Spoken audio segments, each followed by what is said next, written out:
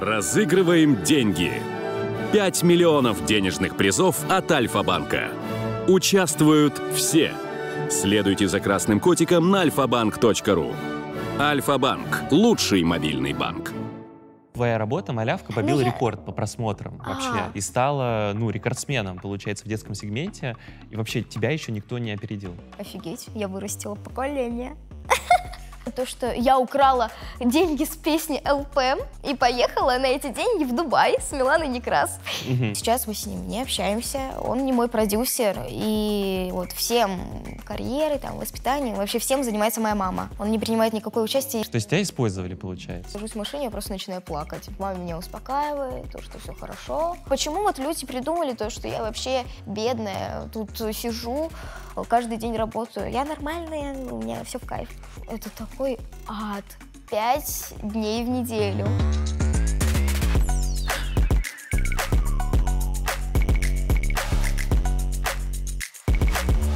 Всем привет, друзья! Вы смотрите «Пушку», меня зовут Максим Титов, и сегодня у нас в гостях Милана Стар, самая громкая, молодая и яркая певица и блогер. Привет, Милана!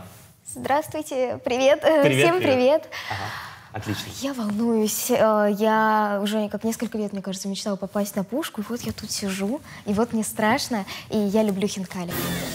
О том, где моя кнопка, никто не узнает. Милана постоянно зажигает. Красная помада бандана и кацука. Я не знаю, что такое депрессуха. Я чувствую тебя, я чувствую тебя.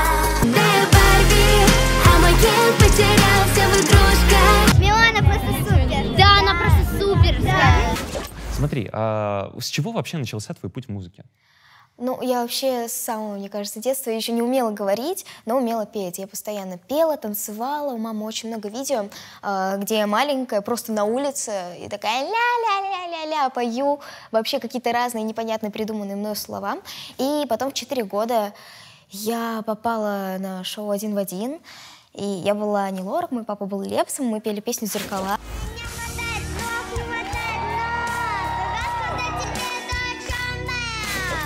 Вот выступили, это завирусилось в интернете, и это маленькая смешная, потому что и все надо мной угорали, но это было очень мило. И это мой самый любимый момент, когда после выступления меня спрашивают ведущие, «Милана, вот нравятся тебе новые волосы?» «Ага». Это ты так ответила Я, я уже? говорю, «Ага». Понятно. Слушай, ну это было твое первое выступление, правильно? Ага. Так, ну ты уже... Это было в прошлом. Вот такое твое, как бы, знаешь, такое немножко... а, ты была слишком уверена, самоуверена, да, Ну нет, я наоборот такая маленькая, я вредная. Ну, мне кажется, я сейчас еще вреднее стала. А, Может быть, я просто растерялась, я вообще не понимала, что происходит. А, У меня ну, был, наверное, шок такой небольшой. И я там, не знаю, первый раз выступила, там много людей что-то делают, и я такая, ага.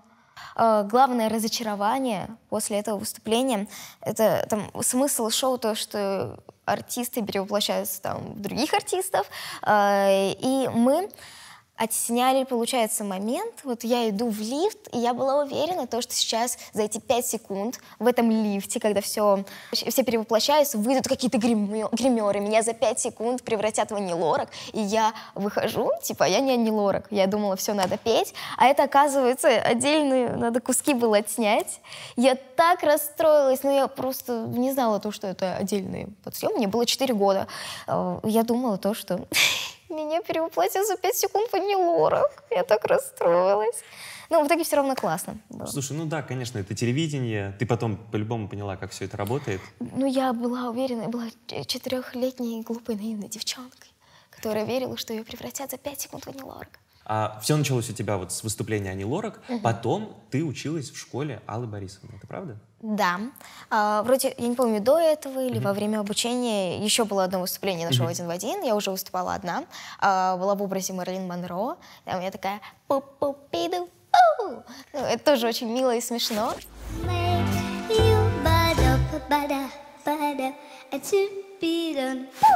А, вот насчет обучения, да, я не помню, сколько училась, но несколько лет. Это прям Вот из детства одно из самых таких вот теплых воспоминаний. Классные ребята, классный коллектив, э, классные учителя, классная Алла Борисовна Пугачева. Вообще все очень круто.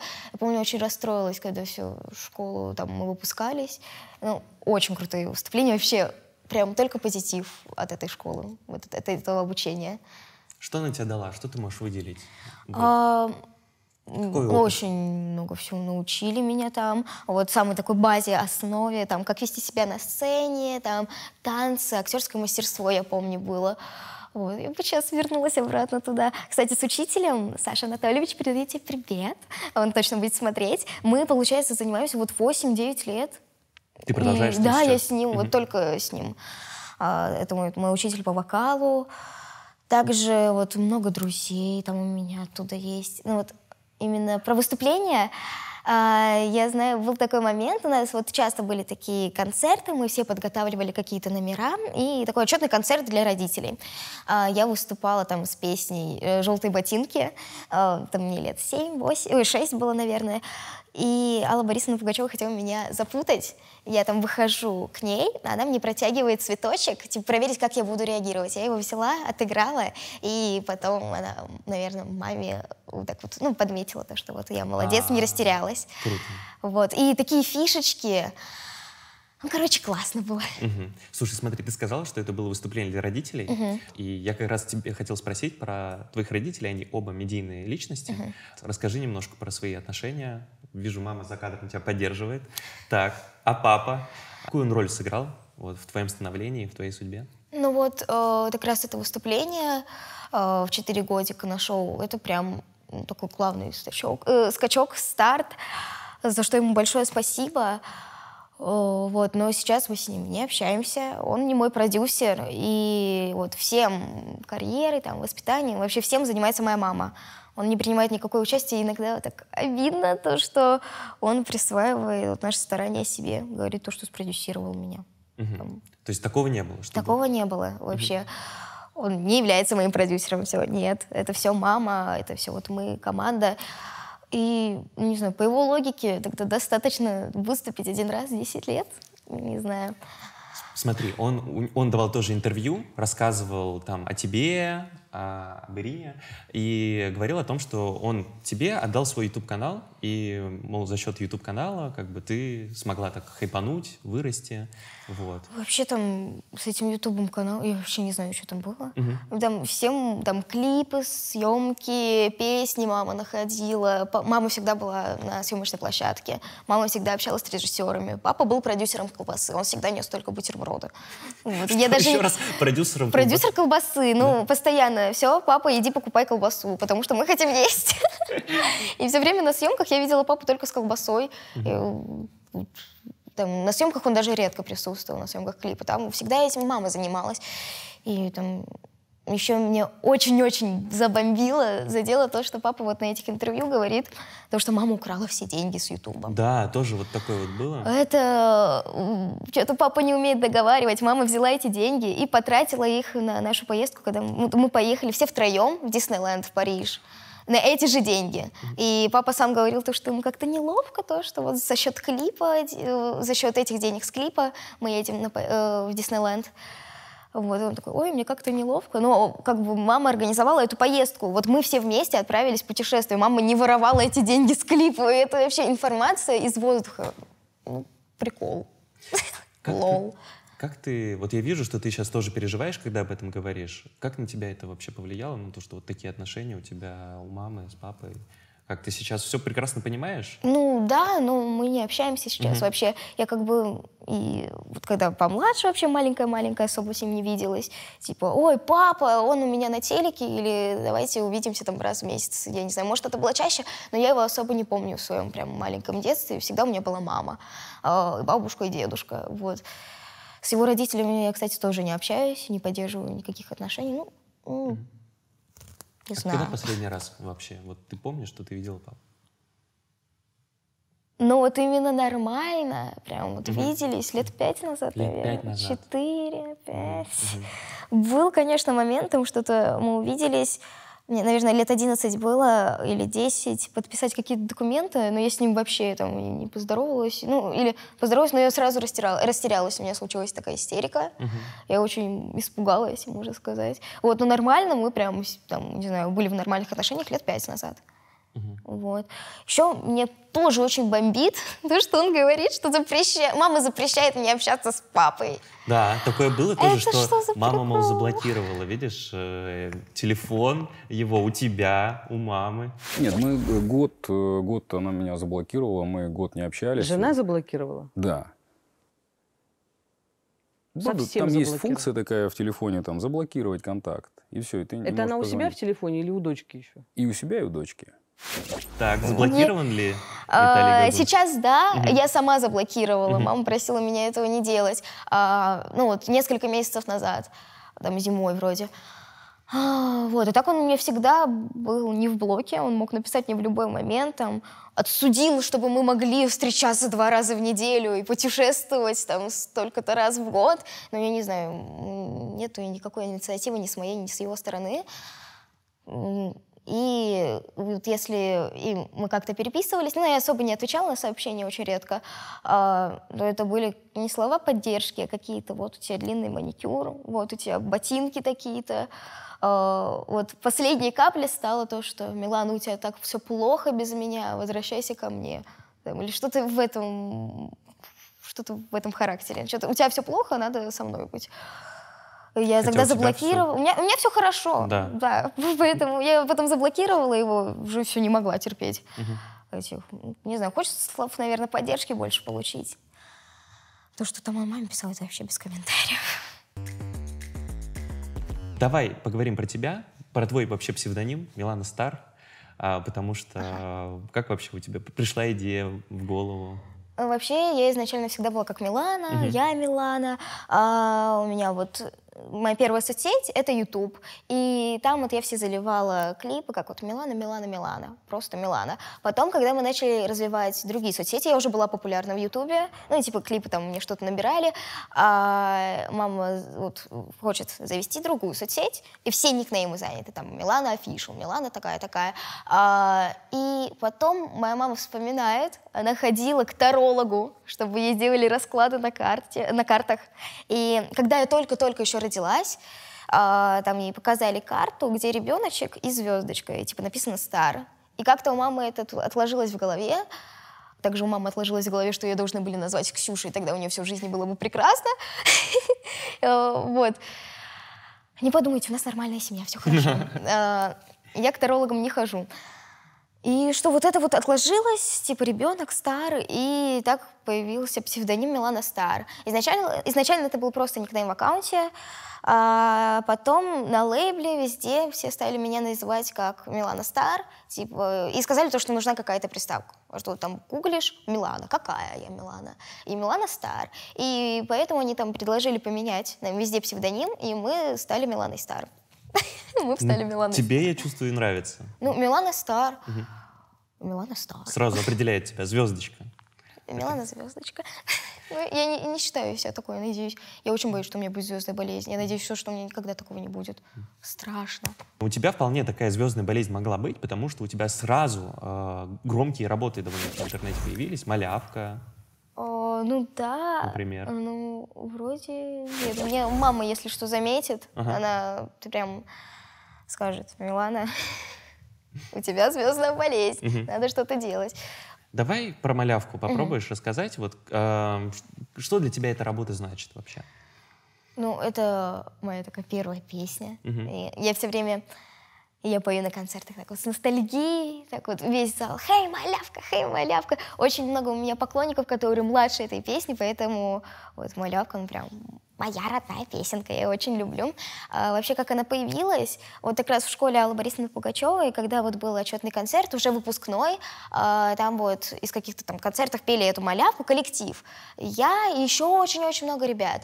А, но никому эта песня вообще не нравилась, а, там, ни родителям, ну, моей маме она приглянулась, и мы решили, что вот грустно заканчивать такой выпускной, надо что-то делать, продолжать, потому что мне нравится петь, выступать и так далее, и как я буду без этого всего. Мы решили взять малявку, записали. Э, никому она вообще не нравится, вот такая непризнанная песня.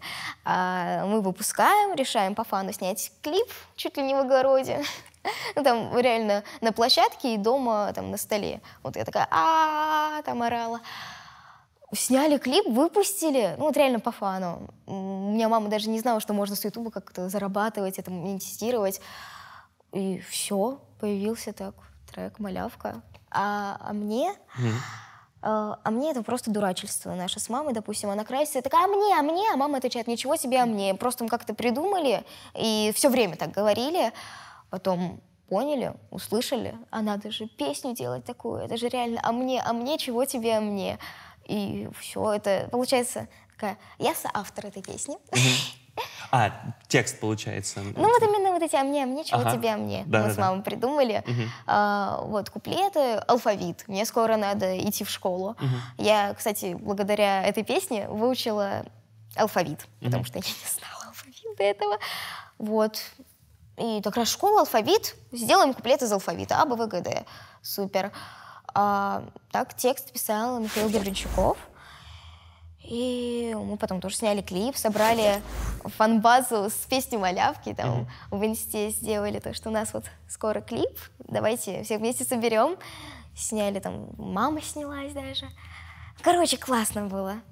Ты ожидала вообще, что оно так взлетит? Я, мне кажется, вообще не понимала. Да? Ну, типа, пою, пою. Тебе просто мама рассказывала, что, слушай, а клипы это нормально вирусятся, что они собирают или Мне нет? кажется, я даже не понимала. Да? Мне кажется, я всю жизнь вообще там выступала просто в школе. Теперь выступаю в другом месте. Как-то не особо понимала. Вот мне кажется, после концерта э, начала понимать что-то.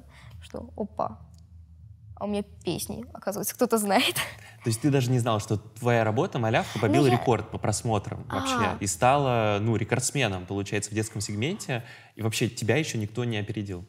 Ну да, кстати, мы одни из первых начали именно вот на детскую русскую аудиторию, вот кто поет из детей, потому что я не замечала, не видела каких-то других блогеров или просто детей, которые выпускаются на YouTube с песнями, и потом все начали такой подхватывать тренд, и сейчас прям такая база поющих детей есть. Есть такое, да. И ты как будто бы сдала его как раз. Ну вот, я задаю тренды. Есть. Смотри, у тебя не один такой успех был. Ты первая в 10 лет собрала большой сольный концерт. И в 13. И в 13. Но давай поговорим о том первом. В 10 лет большой сольник, там за два месяца раскупили билеты, насколько Да, я знаю. Твои эмоции. Страшно, мне было очень страшно, мне было очень волнительно. Я за месяц до концерта уже просто вся тряслась, все, у меня сольный концерт, что мне делать? Было много репетиций, я прям старалась там и танцы, и вокал. А Там каждый урок вокала, когда вот все ближе и ближе к концерту, мы постоянно вот за, этот полтора, за эти полтора часа весь концерт и по тексту, и не по тексту все проходили. Я учила этот текст, учила эти танцы. Вот, но было очень классно, эта атмосфера, под- когда мы подготавливаем концерт, такая самая волнительная, вот, в ожидании чуда, я не знаю. А, э, Сам концерт, я сама перед выступлением очень волновалась. Я...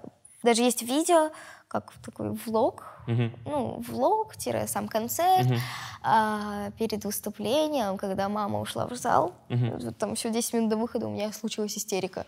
Я такая, все, я плачу, мне страшно, я не хочу, не снимайте, отменяем, отмена, стоп. Но как-то я потом собралась, меня успокоили, выхожу с дрожащим голосом, ну, как-то дала концерт, и даже вот чуть-чуть горжусь за маленькую Миланочку такую. Я думала, если честно, что максимум человек 15 придет. Ой, я очень волнуюсь. Ну что, пошумим! То есть ты рекомендуешь всем вот перебороть это ощущение, да, страха, Ну и просто да. собраться в один момент и выступить. С каждым разом ему все меньше и меньше, но все равно должно быть такое ощущение волнения. Вот. Но в тот раз, потому что первый сольный концерт, это было, конечно, страшно. Вот. Сейчас, на данный момент, мне кажется, уже 20 сольных концертов дала. 20 сольников. Ну, по всему миру. Вот где-то 16 точно. Сейчас вот мы недавно 4 города еще посетили, поэтому 20, я думаю, где-то есть. Скажу шок информацию. До Нового года я планирую дать 50 сольных концертов еще плюсом. В этом году Да, 50 сольников. по России. ребят. мне Ребята, кажется- приходите, ждем. Приходите, ребят, потому что, блин, ну, ты, наверное, там очень много городов. Ну, вот 50 точно будет еще. Страшно. Страшно? Вот. Ну, это кайф. Я сама прошу, чтобы туры все время делали побольше, что 4-5 городов Ты мне не мало. А, а там такой график, типа, концерт или два и выходной. И я, наоборот, даже заряжаюсь от этого больше. Я там со своими девчоночками, кто со мной танцует, мы постоянно проводим время как-то вместе. И это получается такое путешествие в поездку, а не как работу. Мне вот в кайф. Просто в кайф, реально. Ты сказала, что ты делать. проводишь время с девчонками. Сколько у тебя девчонок в команде? Так, так, так. А вообще в каждом городе у нас есть Тодос, который со мной танцует. Там они все выучивают хореографию. за им, это- им, им за это большое спасибо, что принимают тоже участие. А вот э, две девочки со мной всегда э, едут и танцуют там какие-то песни. Мгм. Это как группа поддержки. Столько концертов, тебе нужно постоянно заряжаться, ну, там, не знаю, очень много энергии тратить. Ты еще поешь вживую, правильно? Да, пою всегда вживую и танцую параллельно. Ну, это классно. И все вместе! Давай,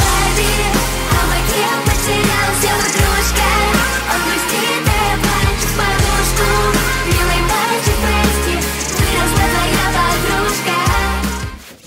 Мне Алла Борисовна дала такое напутствие, она всем говорила о том, то, что надо всегда обязательно петь вживую. Типа, только неделю поешь, пой вживую. Потому что обманывать зрителей — это как-то нехорошо, тем более они приходят на концерт, наверное, не послушать фонограмму, а послушать меня и посмотреть шоу. Вот, поэтому у меня как-то заложилось, я всегда пою вживую на всех своих концертах. Вот.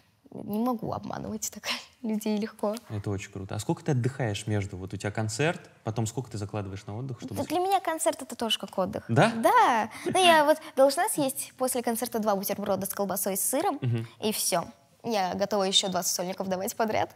Давай поговорим про твой сольник, который вот сейчас вот был. Расскажи про него.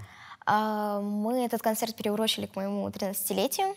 А, Сам ДР у меня 17 числа, концерт 18 Вот. Это новая шоу-программа, а, новые костюмы, новые танцы.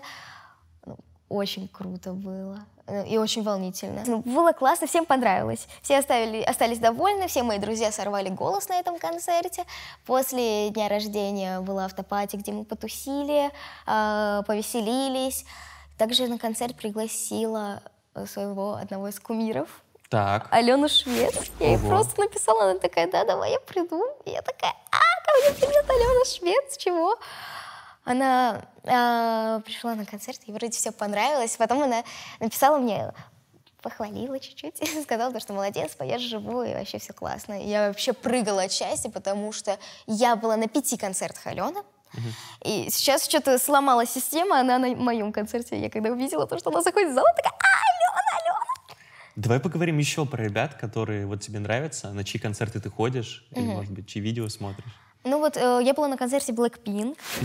Это Так, очень ну их мы уже, девчонки. наверное, не позовем к тебе Ну, на концерт. Или, или в будущем. Ну, может будет- быть, надеюсь. Давайте Blackpink, позвоните, напишите, давайте фит.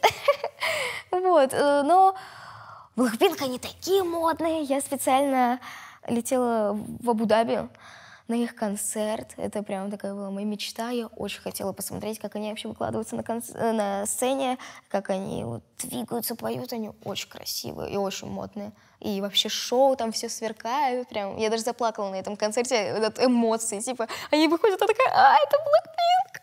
Это Blackpink!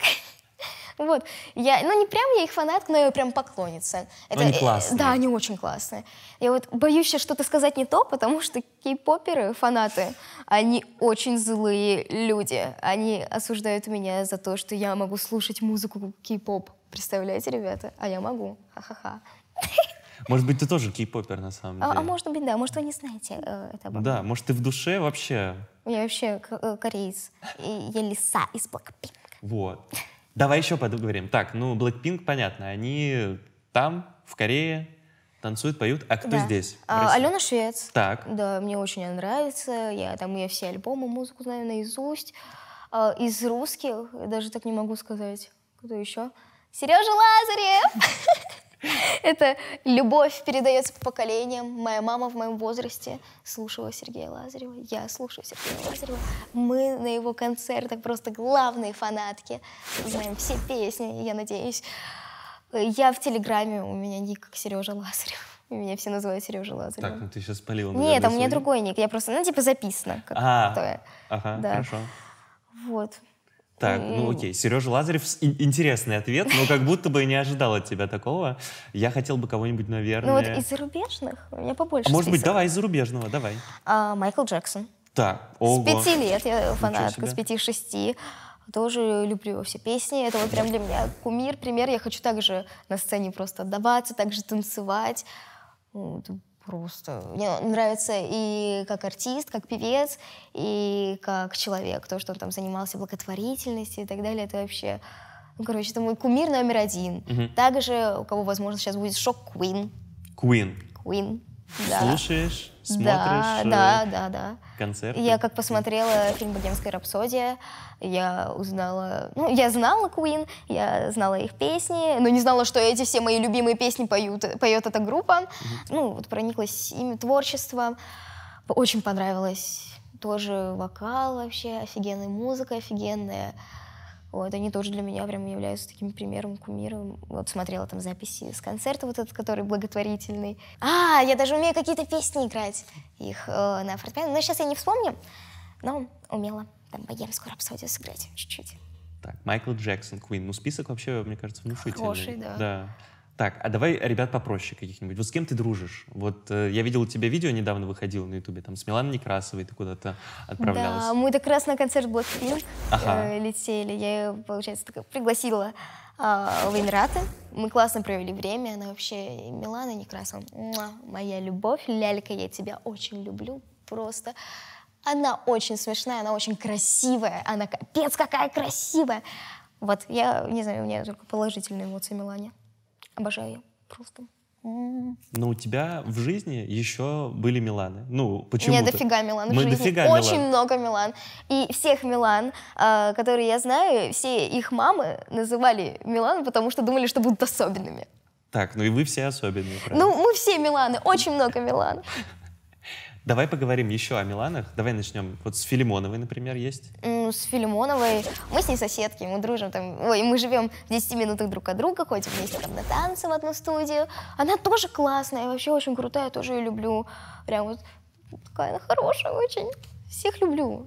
Так, но есть вот э, есть Милана, про которую ты, наверное, так не скажешь. Есть вот Милана Хаметова, например, с которой у вас был feat. А, громкий. Пути, не путю. Ни пути, ни путю, да. По всему интернету, по всему ТикТоку, по всему Ютубу гремело это все. А, давай поговорим немножко о ней. Рекламная пауза. Ладно, ладно, все хорошо, уговорили. Ага. Вот смотри, а, как вообще у вас э, завязались отношения, как вы начали дружить, как ты вообще узнала? А, познакомились мы с ней на моем шоу. Мгм. Меломания я раньше выпускала это шоу на Точно. YouTube. Пукнуть, потом говорить. Сражаться не на жизнь, а на смерть. Логично. Пожалуйста. Подожди, подожди, подожди. Вообще не знаю эту песню. А дальше я не буду петь. Догоняй, там пропеллер. Она была как одна из приглашенных гостей, я была ведущей. э, И у нас, мне кажется, сразу такой произошел коннект. Мы там что-то в игры начали играть. А, Она была популярна тогда только в ТикТоке. Ну, прям очень популярна была в ТикТоке. Мы познакомились, потом начали пересекаться на каких-то мероприятиях, там просто в тусовке. И так вот сдружились очень хорошо. Потом... Я знаю, что тебе а, практически сразу вот со стороны Миланы Хаметовой прилетело предложение о фите. Да. Было такое. Ну, не, прати- не практически сразу. Ну, там мы уже полгода, я думаю. А, П- пол- Практически сразу, кстати, да. Вот, не помню точно, ну, мы записали еще летом 21 года эту песню. А, вот быстренько все сделали. Потом через год только его выпустили. А, и за это время очень хорошо сдружились. Прям э, было для меня очень, ну, прям близкий человек для меня. Вы ездили тоже Э, вместе? Да, мы очень много путешествовали, много проводили время, много переписывались. Вот, я прям очень дорожила дружбой.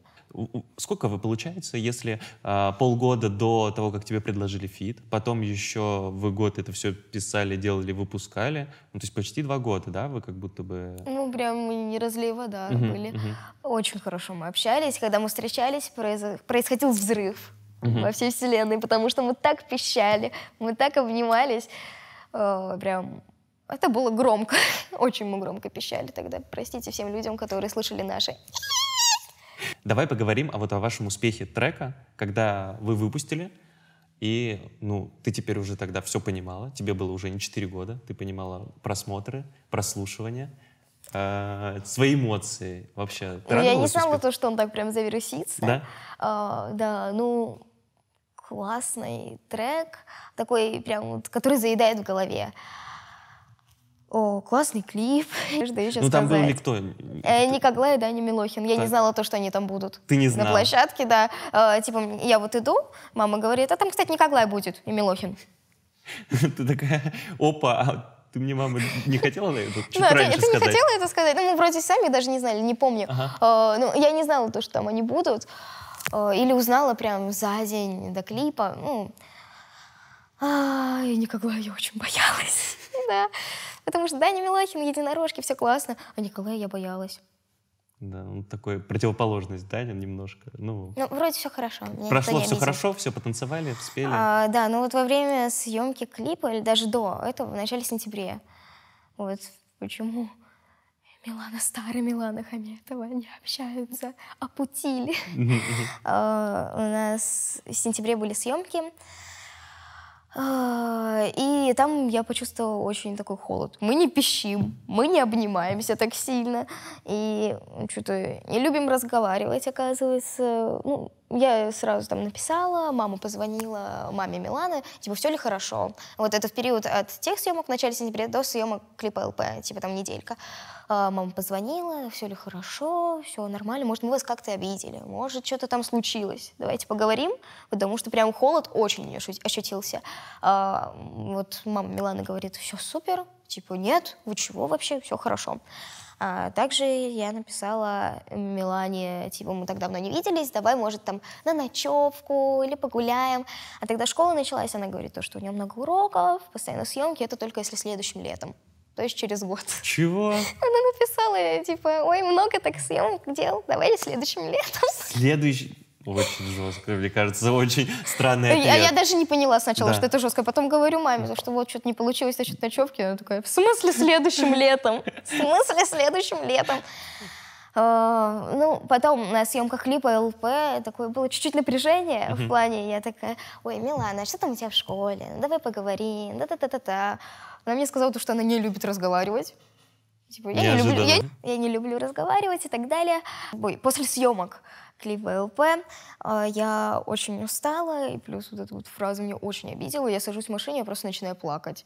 Типа, мама меня успокаивает, то, что все хорошо, может, так надо, там, не знаю, потому что, ну вот, очень было обидно то, что так человек начал отдаляться от меня резко и без объяснения причины. Типа, нам сказали в лицо, все хорошо, а нифига не хорошо. А, я начала очень сильно переживать, очень сильно плакать, поэтому мы взяли психолога, чтобы со мной это все проработать нормально. Сейчас уже легче гораздо, я все переварила. Но тогда осенью прям было очень сложно это все принять, на то, что мне не объяснили причины. Я не просто так начала волноваться, потому что еще были всякие сбросы потом. Пошли в соцсетях, какая я плохая, потому что ничего и никогда со мной не будет, то, что никогда фитов со мной не будет, а, и вообще ничего. Еще вот самое смешное, это даже не обидно, это реально смешно, я угорала. А, Спрашивают вопросы не а, «Кого ты выберешь, Милану Стар или Настю?» Она отвечает, конечно же, и отмечает тут аккаунт Насти. Настя в свое время репостит себе, такая, ой, сердечко, это моя ЛПшка, как я тебя люблю. Но прикол то, что это Настя, мы вдвоем очень сильно засирали, очень сильно. И тогда мне, типа, все стало, ну, как бы, понятно чуть-чуть. Потому что вот Настю, ну, не знаю, я-то с ней не общаюсь сейчас, она ЛПшка, оказывается, ее. Ну, это был какой-то детский сад, мне кажется, да? Ну, это смешно, это просто смешно. Уже такое. А вот она моя ЛПшка. Конечно же, она. И это было все, ну, то есть вы отписались, и вот пошел Ну, вот сразу она сначала отписалась. Она сначала Да, отписалась. потом я в ответ. А, И вот дальше уже после отписки пошли вот эти вот сбросы посильнее. Также в тусовке лайкеров, там какие-то про меня от нее, вот в эту компанию были какие-то моменты, то, что я выпендрежница какая-то такая Вы же все общаетесь, Да, да? у нас это все просто кто-то про кого-то сказал, это сразу все переплелось. А, И тебе говорили, что Милан что-то про тебя говорит. Ну, это было пару раз такое. Ну, это как бы и несложно догадаться. То, что такое вполне могло быть. Я в эту тусовку лайкеров типа ничего не говорила такого про нее. Я в соцсетях ничего не афишировала. Сейчас вот говорю, наконец-то разжевываю эту информацию, потому что очень много хейта после этого всего полилось, очень много всяких вопросов. Потому что никто не знает, что действительно произошло, Ну, и как бы одна думают то, сторона что только я что-то плохая. говорит. Да? Все думают то, что я украла деньги с песни ЛП и поехала на эти деньги в Дубай с Миланой Некрас. Мгм. Вот, и такие всякие какие-то слухи, вот вообще я не понимаю, откуда они взялись. И мне все пишут, вот ты Кидалова променяла деньги на лучшую подругу. А я, э, типа, я реально искренне дружила. Я очень дорожила этой дружбой, очень дорожила самой Миланой и нашим общением. Э, И я вот сейчас уже, у меня какие-то флешбеки Мгм. появляется вот с тех моментов, с тех ночевок, то, что на ночевку мы могли пойти только если снимем 5-10 роликов. Это было со стороны мамы Миланы. То есть вы должны снять 5-10 Да, мы должны снять и 5 только потом роликов можете- туда-сюда, и тогда пойдем на ночевку. Так, и тебе приходилось Да. снимать. И, ну, вот мы вместе снимали. Мгм. Типа, сейчас я понимаю то, что мы снимали, и только потом дружили, Мгм. О, потому что... То есть тебя использовали, получается? Ну, Ну, как я бы от надеюсь, тебя то, брали? что нет. Я надеюсь, то, что мы Ну, а реально как ты мне так сейчас описываешь, как будто бы действительно... Милана, давай ты, ты со мной сними ролики, а потом мы с тобой пойдем в кино. Ну, это даже больше со стороны мамы. Да? Я надеюсь, то, что Милана реально со мной искренне дружила. Мгм. Очень не хочу думать о другом. А, Я, типа, ну, я тоже снимала, но это было не так, то, что иначе мы не останемся вместе, иначе мы там не будем жить в одном номере. Такого с моей стороны с, мамой, с маминой не было. Мгм. Только вот с их. Слушай, ну я нашел, вот у меня есть материалы, а, например, видео, где Милана Хаметова, она исполняет ваш совместный трек в эфире и поет под твой голос. Вот ты видела его? Ну, есть такое.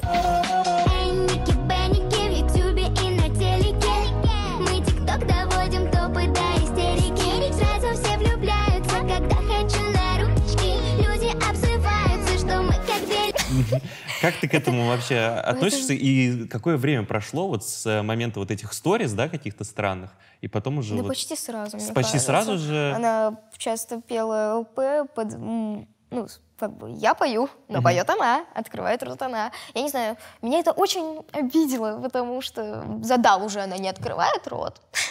Можно, не знаю, или переписать эту часть и просто наложить свой голос, либо просто убрать микрофон. Но зачем выдавать мой голос за свой? Типа, ну, это все равно понятно, то, что голос меняется, там чуть-чуть это заметно. Ну, то как-то, я не знаю, я не пою под Милану. Мгм. Я как бы вживую пою это. Получается, вот песня выстреливает, Да. и сразу, я понимаю, вот есть такой холодок, да, ты между вами. Это даже вот прям до клипа. То есть, да, мы песню выпустили, и сразу все, холод. Потом мы сняли клип, и вообще ноль общения. Я прям заметила после вот этой вот нашей поездки, когда мы были в Турции, тогда выпустили трек, я даже просто могу открыть переписку, после этого сразу, о, там я что-то ей присылаю, я знаю, окей, классно, Мгм. круто, я занята. Ну, прям отдаление очень... Мы начали, короче, очень сильно отдаляться. И меня вот обижает то, что я не знаю причины. Когда я спрашивала в лицо, мне сказали, что все хорошо. А, И меня очень обижает и расстраивает то, что реально нельзя поговорить. С моей стороны и с маминой мы проявили иници- инициативу, и мы просто не обсудили эту тему, и поэтому сейчас в таком конфликте, можно сказать. Ну смотри, это получается у тебя первый такой вообще опыт, э, ну, такого прям какого-то непонятного Ну, конфликта, да, да? То есть да. ты же еще ребенок, и у тебя первый раз такое происходит. Во тебе- всех, ой, во всех конфликтах там с моими подружками, которые там не медийные, допустим, мы просто садимся в кафе и все обговариваем. Такие случались случаи, все хорошо, хэппи-энд. А тут вот то, что мы не можем сесть поговорить, и это для меня очень странно, потому что меня мама всегда учила разговаривать. Надо разговаривать. Вот у нас есть язык, мы можем говорить. И да, это первый раз, когда мы реально не можем обсудить это все. И вот это грустно. Еще что грустно, э, в плане работы меня начали сливать. Она начала исполнять песню ЛП «Одна соль». Мы, допустим, приглашали нас двоих. Они, э, вот там, менеджеры, пиарщики отвечают за меня, то, что я не хочу петь эту песню. Не хочу нигде выступать и не хочу петь вместе с Хаметовой. Это, конечно, То есть за тебя как бы говорят? да, за меня говорят. Тебе даже не ставят Меня вообще... не- Я вообще не в курсе, то, что Мгм. меня там куда-то зовут. Мгм. Мне э, сразу организаторам напрямую говорят, Милана Стар не будет выступать. Мгм. И меня так сливают часто. Хотя там по договоренности мы должны вместе исполнять эту песню, или чтобы две стороны были в курсе Мгм. об этом. Это Вот. мы еще уточним по договоренности. Я помню то, что когда на всех э, площадках, площадках, на всех соцсетях выпустили, выложили этот трек. А, Там вот на обложке мы вместе, Милана и Милана, а, ну, как исполнитель Милана Хаметова, без Миланы Стар. И так я провисела чуть меньше месяца. Ну, когда вот начало, типа, трек только начинает вируситься, все под него снимают, и автор только один. Мне даже вот некоторые друзья говорили то, что почему тебя там нет. Нам сказали то, что это сбой какой-то, мы такие, окей, окей. Но вот спустя время мы понимаем то, что, скорее всего, это не сбой, Потому что были еще моменты по типу менеджер Миланы или сама Милана. Делали там пост, рилс, то, что вот вышла песня. Спасибо всем, спасибо операторам, спасибо Никоглаем, спасибо Милохинам, спасибо вообще всем-всем-всем. Просто спасибо Бористе, который делал мне кофе. И Милану старую что-то забыли поблагодарить. Это так даже чуть-чуть по-детски обидно. Вот, ну, просто забыли сказать спасибо. И потом начали мы замечать. После выхода песни, допустим, а, Милана репостила себя в сторис, э, принципиально, где нет отметки моей, где типа то, что поет только Милана Хаметова. А, Там и вот, ну, реально было очень много таких моментов. Я сейчас уже их все не вспомню. Ну, такие маленькие неприятности Мгм. ко мне. Вот про лайкеров я вас спросил, ну что у вас тусовка и все такое. Мгм. Вот вы снимаете в лайке. Да. Ты, Милана, И другие много-много-много ребята. ребят. Да, да, да. И какая там аудитория вообще, что там пишут? Какая у вас, Ой, какая там, у них реакция ну, была? Достаточно токсичная аудитория вообще в лайке, там дети, они все всему верят, и очень иногда бывают токсичными. Но у меня вот нормальная аудитория, там мои фаны, они всегда добрые, но тут вообще не про это. Мы очень часто собираемся с друзьями, э, лайкерами погулять, там где-то встретиться, вместе поколлаборироваться, поснимать, да вот так в жизни просто общаемся. А, и мы недавно собрались погулять, а, встретиться. Я не знала там, кто будет. Ну, узнала своих ребят, с которыми вообще идеально отвечаюсь. Ам, Там еще одна девочка просто приезжает, и она живет не в Москве. И мы, там очень много ребят, э, очень много лайкеров, прям у меня был шок. Я думала, мы так, чуть-чуть, компашкой маленькой погуляем, и там прям было очень много. И там была Милана. И она не знала то, что я буду, я не знала, что она будет. И было очень напряжно. Мы сидели прям так, э, там не здоровались, ничего. Ну, это прям ощущали, мне кажется, все вот это вот напряжение. Потом паблики расфорсили по типу, вот, Милана Стар и Милана Хаметова, оказывается, дружат. Они пересеклись на тусовке лайкеров, блогеров. И этот ролик, отрывок с паблика завершился в лайке. Вот кто-то перезалил. И Милана оставила комментарий свой по типу «Мы не помирились. Если бы я знала, что она там будет, я бы не пришла». Мгм. Такая, значит, бич немножко. Вайп такой, что типа... Бич вайб. Да-да-да. И какой-нибудь эмодзик. Нет? Не было такого? Ну нет, такого не было. Не было. Ну и что? И ты никак не, не комментировал ее комментарий? А я бы тоже не пришла, если бы знала, что там было. Нет? Ну не, я не комментировала. Ты просто, просто увидела его Я всё. бы вообще вот эту всю тему не обсуждала, если бы не хейт на меня и не вот эти вот сбросы. И получается тоже она такими комментариями подогревает хейт к тебе. Да, после этого начали писать, вот Милана Стар забрала деньги, Милана Стар удалила песню, Мгм. Милана Стар это, это, это. И вообще Милана Стар э, кинула Милану Хаметову. Смотри, я когда готовился к интервью, проверял вообще э, о тебе всю информацию, читал статьи и вижу, что клип э, ЛП был удален с Ютуба. Как думаешь, почему? И вообще, как ты э, с этим связан? Я думаю, то, что это уже больше такие взрослые дела, работа и так далее. А, Больше такое все юридическое, серьезное. А, Может быть, со мной пришел юрист Алексей. Может быть, он согласится прокомментировать и это более грамотно все скажет, потому что я особо не вникаю и не, не донесу все нормально. Слушай, давай действительно попросим Алексея. Всё, Тогда освобождай диван. Разыгрываем деньги.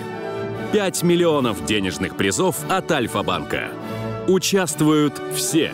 Следуйте за красным котиком на alfabank.ru. Альфа-банк – лучший мобильный банк. Алексей, ну все-таки что случилось с клипом? Потому что вот Милана сказала, что действительно его удалили, но она не знает причин.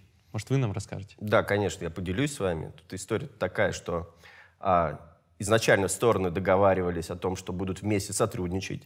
К Милане Стар, будучи уже известной, приходит а, команда Миланы Хаметовой с предложением выпустить фит. Естественно, договариваться о том, что а, все денежные средства, которые будут с этого заработаны, они будут э, пропорционально распределены. То есть все вместе с этого зарабатывают. Ну, это логично, да? То есть приходит, поет. То есть не- здесь не шла речь о благотворительности. А, это первый момент. Второй момент – это же совместное творчество. Это фит.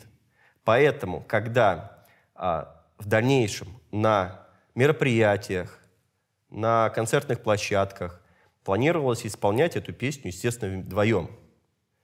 А, Либо обговаривалось заранее, что если кто-то не может, ну, мало ли, да, как не совпадает по времени, еще что-то, какие-то там жизненные обстоятельства не складываются, то а, по согласованию с другой а, стороной имеет право исполнять. Хорошо. Договорились, выпустили.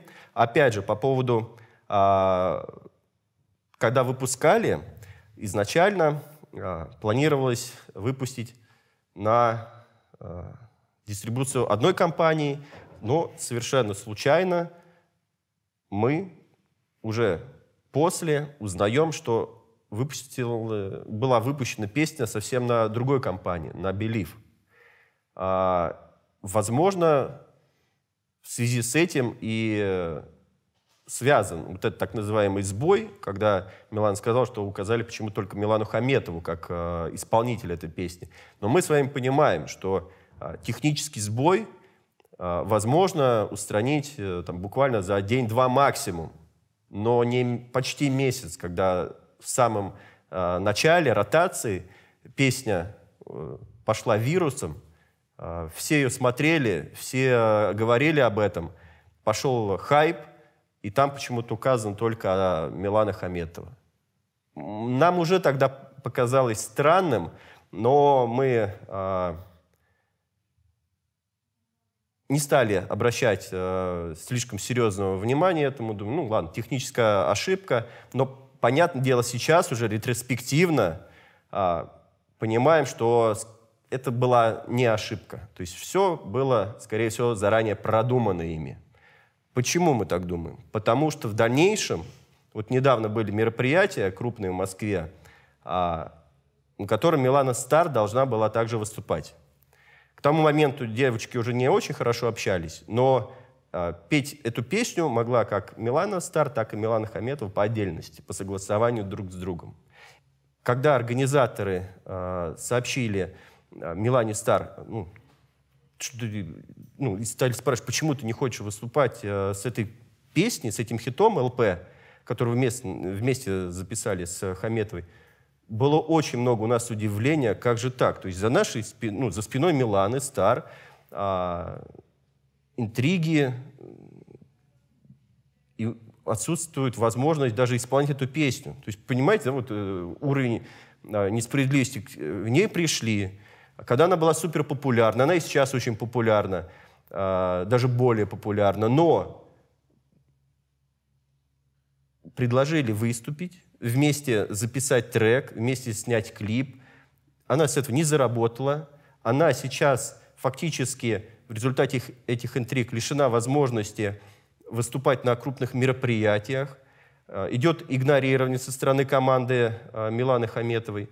Но тут уже в данном случае необходимо было включать юридические рычаги, и мы их включили. То есть мы направили а, юридически обоснованную претензию с требованием представить отчеты а, по дистрибуции, то есть показать нам цифры доходов, а, договориться о том, чтобы исполнять эту песню либо совместно, либо по согласованию.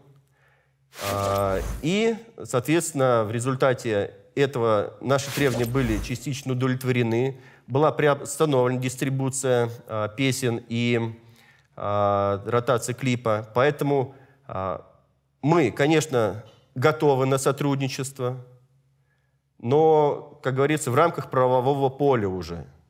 Поэтому интересы Миланы Стар будут в полном объеме соблюдены. Мы никому не позволим творить беспредел и обижать. Поэтому, ну что, я предлагаю команда Миланы Хаметовой внимательно прислушаться к моим словам и действительно делать все по справедливости и в рамках закона. Милан, действительно, юрист мне все объяснил, а, но хотел бы у тебя попросить все-таки немножко о бумажках, о денежках поговорить. Представляешь ли ты, сколько ты зарабатываешь с своего блога, с музыки? Ну, примерно, да. Так. Примерно зарабатываю. О, ой, примерно понимаю, сколько я зарабатываю. О, непривычно общаться. Обычно я говорю, Все вопросы к маме. Все вопросы к маме. Ну, действительно, вот ты что-то себе хочешь, и ты говоришь, мам, я хочу это, и все, сразу покупаю. Есть Ну, у меня есть свои карманные деньги. Так. Мама мне там может дать в любой момент, там, Мгм. за выступление и так далее. А, вот сейчас я особо... Ну ладно, прошу. Хотела соврать, то что сейчас особо и не трачу.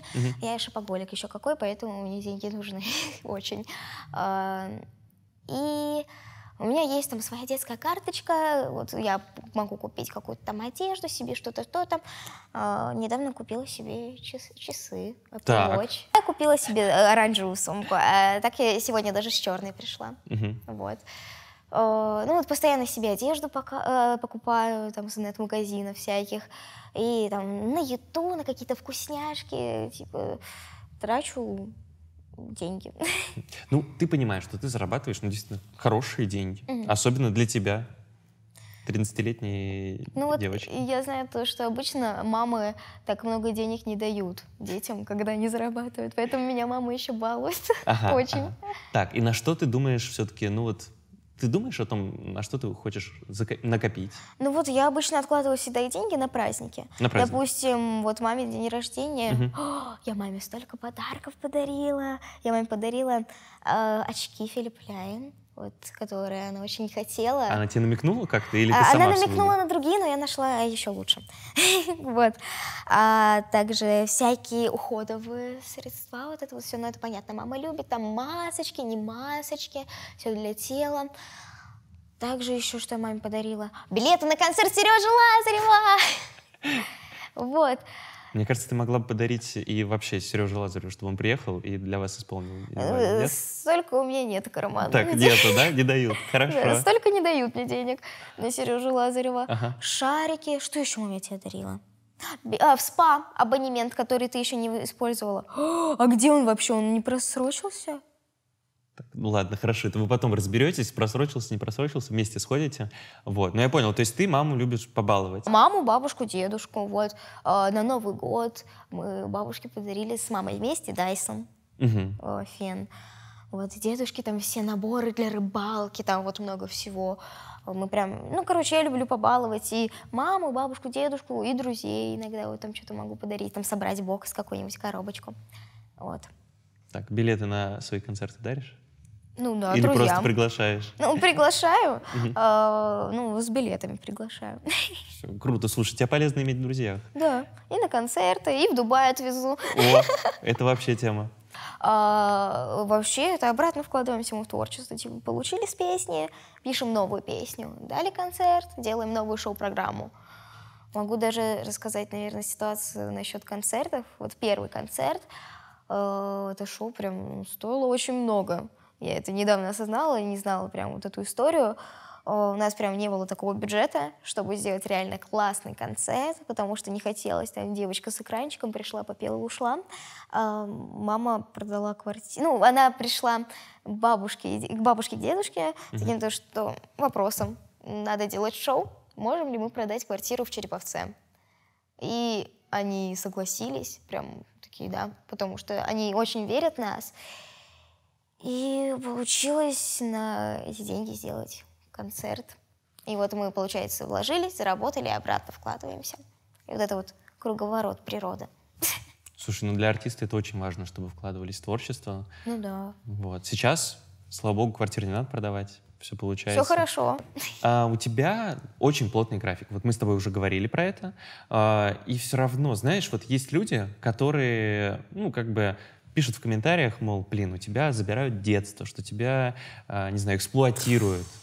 Что ты вот, знаешь, такая машина по зарабатыванию денег, что ты только этим и занимаешься. Как ты сама считаешь? Это смешно. Смешно? Они же не знают, как я живу. Мгм. У меня график, типа, насыщенный, но достаточно свободный. И мне в кайф. Типа, если что, я говорю маме, мам, я устала, я сплю сегодня целый день. Я не хожу, не учусь. Все, я дома. А, такое тоже бывает. У меня много свободных дней. У меня нет такого, то, что я капец как устаю. Даже если я устаю, то я сплю. Вот, у меня, да, насыщенный график, но я не могу сказать, что у меня детства нету. У меня много друзей, я с ними провожу часто время, я хожу на всякие там танцы, не танцы, где тоже вот с друзьями общаюсь. А, Я вообще в школу-то на домашнем обучении, поэтому у меня вообще детство мечты, ребят. Путешествую часто, у меня там много игрушек было. Меня все хорошо. Почему вот люди придумали то, что я вообще бедная, тут сижу, каждый день работаю. Я нормальная, у меня все в кайф. Я знаю, что у тебя все сейчас связано с музыкой, но раньше ты занималась еще гимнастикой.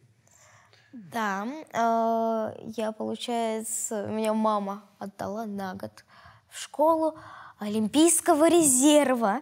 Я никогда не хотела быть гимнасткой, ну или, может быть, хотела, я хотела вообще быть официанткой в детстве, ну ладно. Э, Меня мама отдала туда. Это такой ад. Пять дней в неделю.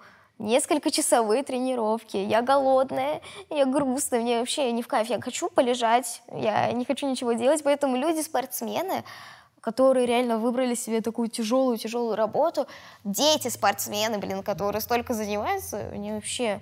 Я, я, я в шоке. Вот, у них реально плотный график. Они прям очень-очень стараются. Ай, И это прям реально очень сложно было. Я прям вспомню, сразу год прошел, я убежала оттуда, потому что постоянно была голодная.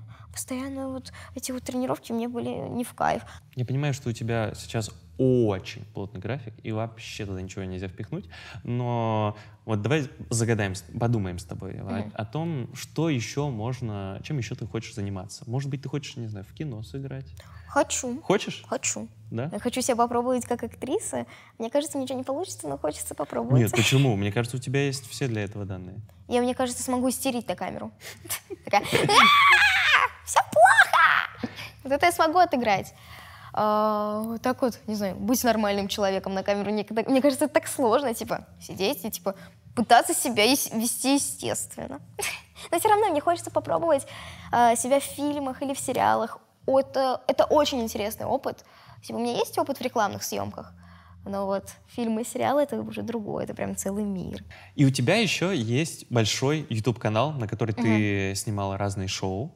Вот, сейчас ты, я видел, снимала совместку с Настей Барби. Да. Что снимали? Ага, ждать? Она, она мне написала в директ, такая, давай коллаборацию, go. Я такая, офигеть, да, давай, Настя. О, прям, мы, короче, снимали скетчи. А, Она написала много-много идей, и какая-то часть скетча пойдет к ней на канал, какая-то ко мне. А, Скетч заключается в том, то, что мы сестры, она старше, я младше, типа я там у нее все ворую, какую-нибудь косметику, вот это вот все, колечки, а, там или просто какие-то бытовые, ну, всякие вещи. Там есть такой скетч, то, что я перенимаю фразы Насти. И одна из этих фраз «Жизнь такая штука, держи ее за ухо». Мы так угорали. И я все время вставляла эту фразу куда-то. Потом, Потом ее команда, э, и ребята пошутили по типу, вот, представь, ты где-то на пушке скажешь эту фразу. И такая, Настя, привет. И я сдержалась, чтобы не проболтаться, что типа через неделю, там, даже меньше иду на пушку. И я такая, а, а, ага, ага. Слушай, ну, все получилось классно, да? Все отсняли, Да, скоро очень ждать. классно, вообще классно. Слушай, Настя Бэтбарби такая яркая, ну, так она, разные образы у нее. Очень стильная она. Да, и у тебя тоже, я заметил, такой образ, ну, яркий довольно-таки. Ногти, покажи, покажи зрителям ногти, свои. Смотрите, хейтеры, мои ногти. Завидуйте. Так, и что ты будешь с ними делать? Будешь их э, как-то еще, что, какие у тебя планы? Может быть, с тразиками туда Ну, знаешь, сейчас модно. я ходила... Сначала у меня всегда была миндаль. Они почему-то резко выросли. У меня, кстати, почти все мои. Но они такие жизни покоцанные. А потом я сделала квадрат в декабре, чтобы сократить длину, потому что были длинные. Они в итоге выросли, у меня такой вот был квадрат. И сейчас я сделала миндаль, чтобы они были поменьше. Тебе удобно с ними? Да, они вообще потрясающие. Мне даже жизнь, жить, наверное, стало легче. Я не представляю, как без них. Ну вот привет моим любимым хейтерам. И привет моему папе, который хейтит меня за ногти. и Пишет моей, маме, моей маме, как так можно было сделать ребенку когти. Не суть. Меня очень много хейтит за то, что я крашусь. Блин, ну вот представляете, вот у меня через день или каждый день, ну все время что-то происходит, съемки там, или ко мне кто-то подойдет сфоткается, а я типа смешная, без макияжа. Или там я видео какое-то буду снимать в лайк без макияжа. Это тоже странно. И я все время крашусь, да, и что? Там что-то случилось. Меня вот... Это вообще не ваше дело, то, что у меня ногти, у меня макияж, вам должно быть пофиг. Смотри, ну получается у тебя такая, знаешь, защита, ну прям бронь от хейтеров, Да. и ты защищаешься. Ну, ну не да, потому что меня очень часто все равно за- задевают какие-то комментарии, большинство случаев, но когда это ногти или мой внешний вид, это такая тупость, это реально смешно. Типа, что вам сделали, ребят, мои ногти? Больше, я не знаю, они же ухоженные, красивые. Обычно у людей, ну это, блин, не делает меня плохой какой-то, то, что у меня ногти. Вот у моих прошлых одноклассников, допустим, нет ногтей, а они там курят за школкой. А, Вот-вот. Свои-то 10 лет, как не стыдно. Ну, мне кажется, курить хуже, чем. Хуже, чем ногти, ребят. Смотрите, я не курю, но у меня есть ногти. Примите меня такой. У тебя большой концерт, потому что ты сама сказала, что у тебя скоро 10 лет на сцене. Да. Как ты к нему готовишься? Может, ты будешь образ свой менять? А, ну вот я уже постепенно меняю свой образ. А, раньше у меня были такие «А пути не путюха и маляк, и сейчас уже я перехожу в рок-поп. Вот у меня три песни, две-три в таком стиле. Типа маленькие девочки уже постарше, Барби это вообще рок. А, и сегодня, кстати, вышла песня. Мы переделали мою старую песню «Я Милана» в более крутую аранжировку. В Сейчас- рок-версию Да, такую. прям такую в рок-поп, и она мне гораздо больше нравится, чем оригинал. А, И что я хотела сказать, вот мы потихонечку меняем стиль, меняем образ, готовимся так к концерту. Вот я думаю, уже с лета пойдет прям такая жесткая подготовка. Э, Будем вот делать э, шоу-программу и так далее. Может, даже в конце весны начнем, не знаю точно. Ну, правильно, ты же растешь, и, соответственно, твоя аудитория растет вместе с тобой. Да, поэтому из-за этого я, можно сказать, и меняю образ, чтобы ребята не убегали от меня, а оставались со мной и тоже со мной росли вместе. Я вот посмотрела на концертах, у меня все время фан-встречи после мероприятия. Э, Очень много людей прям постарше. Раньше вот были прям малявочки-малявочки, сейчас мои ровесники, есть даже старшие ребята. Я прям такой шок. Офигеть, я вырастила поколение. Когда у тебя было вот самое такое, знаешь, э, яркая эмоция, когда ты увидела прям очень много людей, и такая, блин, все, это все на меня пришло? Когда это было? Вот Скорее всего, самый, самый первый концерт. Самый первый Самый концерт? первый концерт, самые яркие эмоции Да? были. Да, я думала то, что вообще никто не придет. Я надеялась хотя бы, чтобы человек 20 пришло. Сейчас я делаю на 6 тысяч концерт. Вы представляете? Я думаю, вообще никто не придет. На 6 тысяч. На вот. 6 тысяч. Да. Крокусе. Там Лазарев давал концерт. Я буду как Лазарев! Ура! Мне кажется, это твоя мечта. Да. Даже переплюнуть, мне кажется, Сережа, ты сможешь в ближайшем будущем, возможно, дальше. Даже. М, Это я Нет? буду. Просто мое главное достижение будет. Ну, это будет очень круто. Переплюнула Сережа Лазарева. Смотри, хоть ты и маленькая девочка, все равно, но у тебя есть мечты и цели. Давай поговорим о них. Цели у меня в основном в плане карьеры. Там цель сейчас сделать концерт крутой, еще круче. А Вот пару месяцев назад была цель сделать классный концерт в честь моего дня рождения. Сейчас, который будет на 6 тысяч. Еще, чтобы круче был концерт. А, вот. Также из таких мини-целей, допустим, добить столько-то подписчиков в такой-то соцсети, добить столько-то та-та-та. Давай Вот поговорим конкретнее. галочки. Сколько подписчиков хочешь где? Хочу в Япе миллион. В Щас- Япе миллион? Да. Сейчас у меня там полмиллиона, и остался только один аккаунт, который мне надо обогнать. Так, кто это? Это Егор Шкрет. Егор Шкрет. Тебе я кажется, хочу коллаб всё, с ним. берегись. Я А, хочу коллаб с Егором Шкредом. Можно? Пожалуйста. Я, я смотрю Егор, с самого иди, начала, с самого начала, с самого начала я подписана на канал и смотрю все видео. Как только он создал канал. Я, вот вообще я фанатка.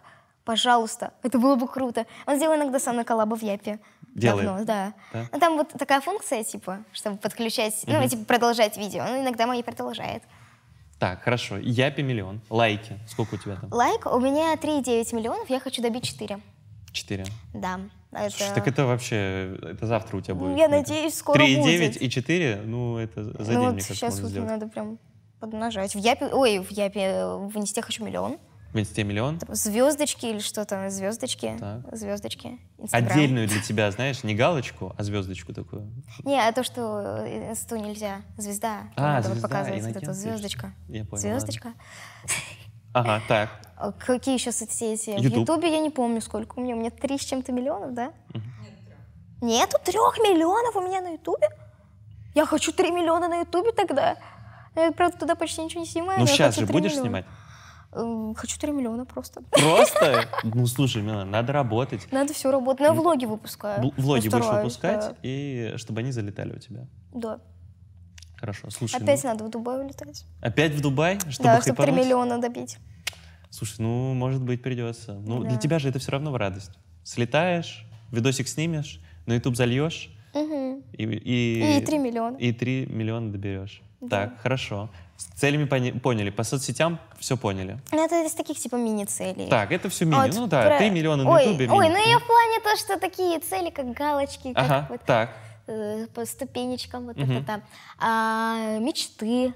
У меня вот была раньше мечта побывать в Диснейленде. Как раз вот, Галочка есть. да, галочка есть, я прям очень хотела. И на каждый день рождения такая, «Фу, хочу в Диснейленд, и типа задуваю свечки. А, вот, смешно получилось меня изобразить свечки. В Америку я хочу очень. Ага. Хочу вообще больше путешествовать, не только в Америку, а вообще по всему миру. Потому что хочу. Потому что мы чаще всего летаем в одни и те же места. Сейчас вообще в Америку. У меня Слушай, была ну- виза, она закончилась недавно. Ну, все, все, все, не расстраивайся. Сделают тебе еще. Смотри, ну, может быть, э, ты вообще будешь worldwide singer? Worldwide. Wor- На, вс- на весь мир.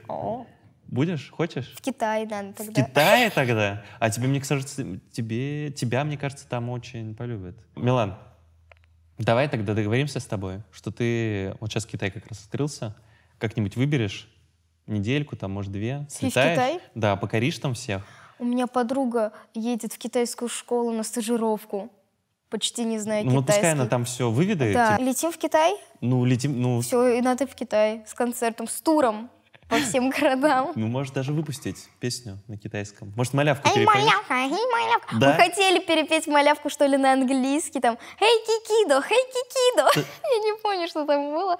Это очень смешно. Я не хочу перепевать песни. мои. хочешь? Пусть они русский учат. Да? Да. Ну все, тогда забились с тобой. Пускай китайцы учат русский и слушают тебя. Милан, спасибо тебе большое, что пришла. Правда, было очень приятно с тобой говорить, потому что, ну, блин, ты реально, мне кажется, ментально уже э, не 13-летний ребенок, а прям взрослый, старушка. осознанный, ну не старушка, а просто взрослый осознанный артист. Вот. Спасибо. Правда, было приятно с тобой болтать. Я мечтала тут побывать несколько лет. Вот года два точно хотела вот дать интервью на пушке. Слушай, Вот ну- я, я вспомнила, как я представляла себя перед сном. Типа я сижу на пушке, рассказываю о своей жизни. мысли реализуются. Так что мы рады, что исполнили твою мечту. Вот. Ребят, а мы надеемся, мы исполнили с Миланой вашу мечту. Вы посмотрели большое интервью Миланы. Вот. Подписывайтесь на нас, ставьте лайки, пишите комментарии, оценивайте. И не хейтите меня. Не хейтите Милану. Запрещаем. Вот, потому что она классная, открытая и честная. Вот. А это была Милана Стар, была Пушка. Всем пока! Пока-пока, я люблю хинкали.